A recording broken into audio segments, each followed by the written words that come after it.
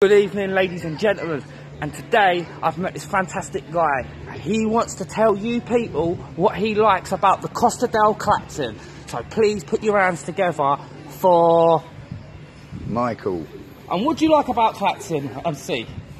Well, it's got fishing and it's got good restaurants. It's got all sorts, really. All sorts of arcades, amusement park.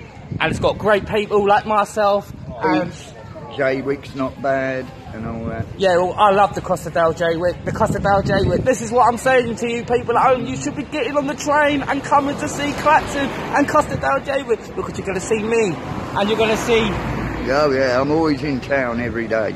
So it's goodbye from me and it's Goodbye from me. and we'll see you soon on Eamon Vision. So take care and see you soon. Goodbye.